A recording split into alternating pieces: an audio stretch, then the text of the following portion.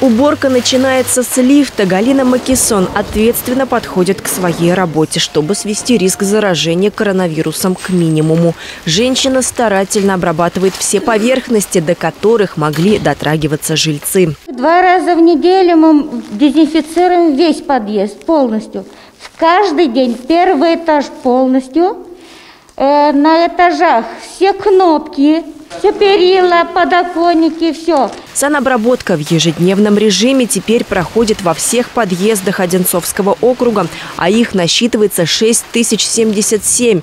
На уборку выходит армия коммунальщиков – 820 человек. Сейчас она усилена дворниками. Особое внимание при дезинфекции уделяют первым этажам по простой причине – это самое проходное место жилого дома. Через первый этаж проходят все жители данного подъезда. Соответственно, условно говоря, если у вас 12 этажей, на каждом этаже 4 квартиры, это получается у нас 38, 48 э, человек каждый день проходит через этот э, холл первого этажа. А на самом уже этаже всего 4 получается, квартиры и, соответственно, 4 жильца, ну или там, если 2 жильца, то 8. Санитарную обработку подъездов контролируют с помощью специального мобильного приложения. Мелочи, которые от него могут ускользнуть, лично проверит представитель госжилинспекции. Смотрите, обрабатывали, подтеки остались. После этого нужно было протереть салфеткой.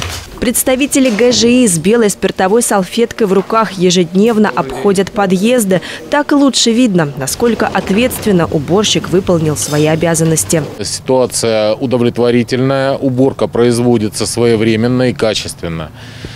Как и э, предписано э, инструкцией, подъезды предварительно как следует э, вымыты. Нет следов грязи, пыли и так далее. После чего проведена э, достаточно качественная обработка хлорсодержащим средством. Если же вам кажется, что уборка проведена некачественно или ее не было вовсе, вы можете оставить жалобу на портале «Добродел». Нарушения устранят в кратчайшие сроки. Евгения Августина, Станислав Трифонов, телекомпания «Одинцова».